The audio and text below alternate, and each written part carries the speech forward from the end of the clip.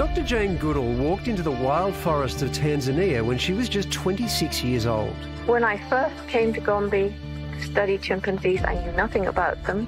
Nobody really knew very much about them. A young woman with no science training, her legendary chimpanzee research upended the world's understanding of primates, humans, and the difference between us. We have found that after all, there isn't a sharp line dividing humans from the rest of the animal kingdom, as we find animals doing things that we, in our arrogance, used to think was just human. I know that they share our emotions, pleasure, joy, sadness. For six decades, Jane has devoted her life to protecting the natural world. We've brought climate change on ourselves, loss of biodiversity on ourselves, and the pandemic on ourselves. It's all our fault from our disrespect of nature and animals. Now, having seen the damage done by mountains of discarded fast fashion, she's fronting a new campaign for Aussie brand Boody, showing that even changing our underwear can make a big difference.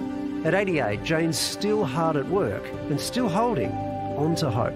I'm about to leave the world and leave it behind me with all the mess, whereas young people have to grow up into it. That's why they need every bit of help they can. If you lose hope, that's the end. Because if you don't hope that there's a way out, if you don't hope that your actions can make a difference, then you sink into apathy and do nothing.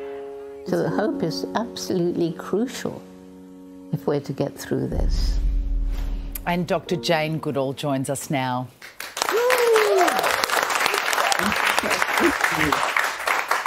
First things first, how does bamboo underwear help the environment? Well, because, you know, as everybody knows, we are trashing the environment and it's getting pretty grim what's happening.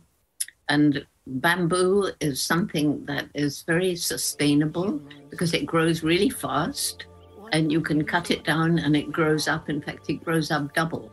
And it also makes really nice, soft material. So it's good for the environment and it's good for our skin and it's good for everybody. Doctor, you have so many amazing achievements. Was there ever a moment when you were in the in the jungle in Tanzania 60 years ago where you thought to yourself, one day I'm going to be the face of an underwear company? well, you could answer that yourself, couldn't you? Dr.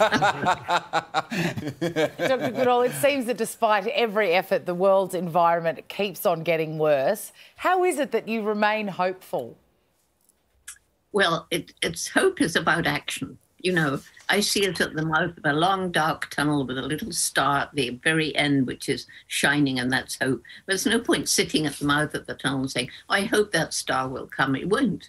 We've got to roll up our sleeves and fight our way through all the obstacles between us and that star, things like climate change, loss of biodiversity, pandemics, mistreatment of the environment, all those things.